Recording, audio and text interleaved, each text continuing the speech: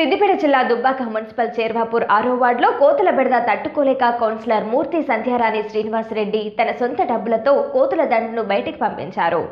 ఈరోజు దుబ్బాక మున్సిపల్ పరిధిలోని ఆరో వార్డు చేర్వాపూర్ గ్రామంలో కోతుల బెడద వశం గాక గ్రామస్థ కోలిక మేరకు మా యొక్క సొంత డబ్బులతోని పుణ్యంగం తీసుకొచ్చి ఊరు గ్రామ పెద్దల సమక్షంలో ఇలా ఊరందరం కలిసి కోతులను బయటకు పంపించినాము. చెరువాపూర్ గ్రామస్తులకు తెలియదు ఏమనగా ఆ యొక్క పుణ్యంగాను అందరం కలిసి చూసుకొని ఎప్పుడు కోతులు వస్తే అప్పుడు అందరూ ఇంటికి ఒకరు బయట వెళ్ళి గ్రామస్తులకు బయటకు పంపిస్తే మళ్ళీ కోతులు రావు.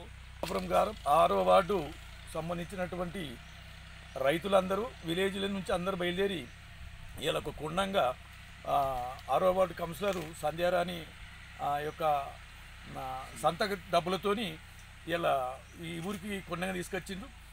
అదే దాన్ని అనుసరించే గ్రామస్తులందరూ కలిసి పూర్తిగా వ్యవసాయం పూర్తిగా నిర్లక్ష్యం అయిపోతుంది ఎందుకంటే కూరగాయలు కూడా మండైన పరిస్థితికి వస్తుంది అని అందరం ఆలోచన చేసినట్టయితే వాళ్ళు కొండంగి ఇచ్చిండ్రు.